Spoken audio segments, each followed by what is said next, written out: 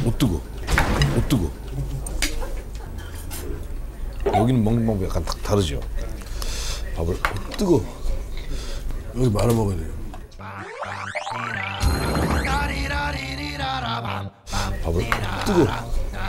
뜨거운 밥을 싹 말고. 어우 밥 방금 한 거예요 밥을 싹 넣고.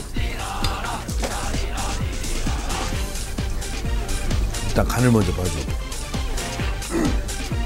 그냥 국물하고 밥, 밥이 말렸을 때 국물하고 다른 거 알죠? 밥이 말리면 구수해져요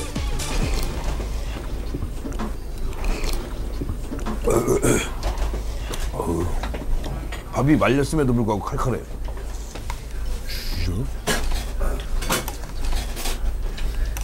여기는 좀 강하게 고춧가루. 참고로 어제 안 넣었어요 어제 거예요 여기는 큰 남성적인 맛에 맞게 각자의 취향인데 난 저긴 저렇게. 막 그래 강하게 그래서 국물을 먹으면 왠지 남성적이고 싶어지고 막 그래.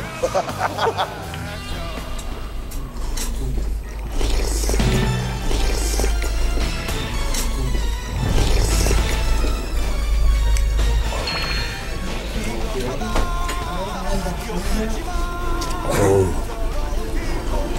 여전한데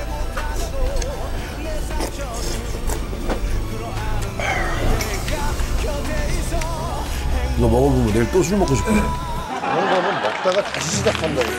하니까 한 서너 숟갈이면 끝나거든. 다시 시작이야. 이게. 해장국의 함정이 저거예요. 그러니까.